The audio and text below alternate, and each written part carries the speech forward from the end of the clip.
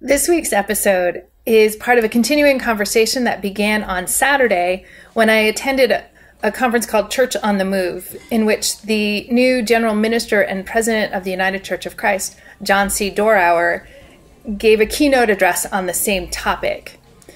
This conversation is between my wife and also vlog producer Erika and myself, and we thought we'd let you listen in on a little bit.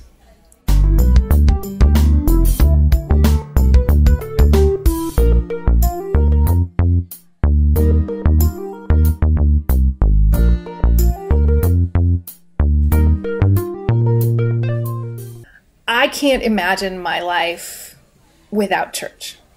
And church has not always been a kind, caring, welcoming place for me. But I'm still drawn back repeatedly because of the overall message of unconditional love, being called to live into that, to embody that for others. Church calls me to be my best self. So that raises the question of what is unique about church. It's it's the good news. It's the good news that you're forgiven, you're saved, you can begin again. We're saved from ourselves.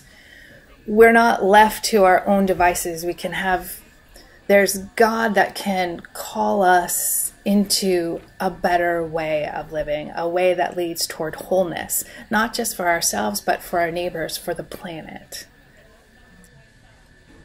And if there's something you need or want from church and you're not getting it, tell us. I know I would listen, and I know I'm not the only pastor out there who would listen.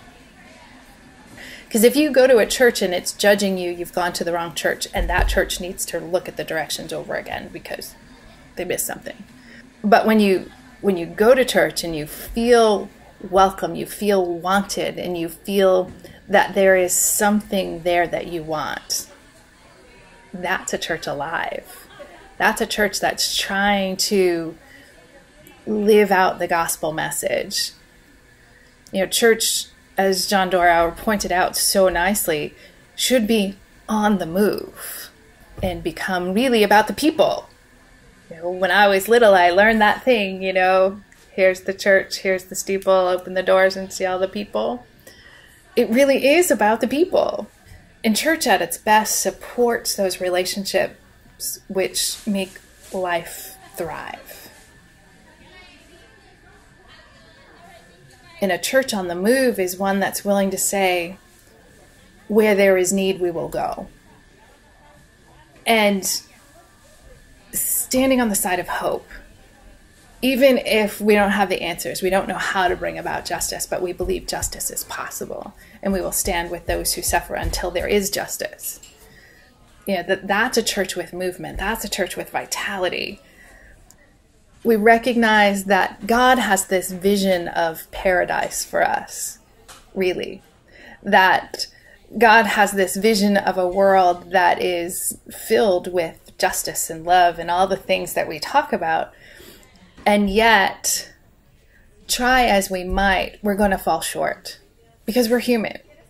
We make mistakes, we get it wrong. I don't know what secular organizations do when their good intentions go awry. When they inadvertently cause harm where they meant good, how do you find forgiveness and strength to try again? So, what's the good news? The good news is that, uh, well, the UCC says it no matter who you are, no matter where you are in life's journey, you are welcome here. You are welcome, you are loved, you are valued, you are forgiven. And you can set down your burdens and begin again in the fullness of that forgiveness.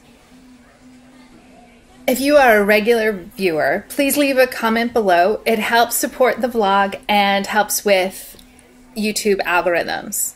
And for the rest of you, if you have a question about church or suggestions for a future vlog, please do leave a comment below and like and share this channel. Thank you, and I'll see you next week.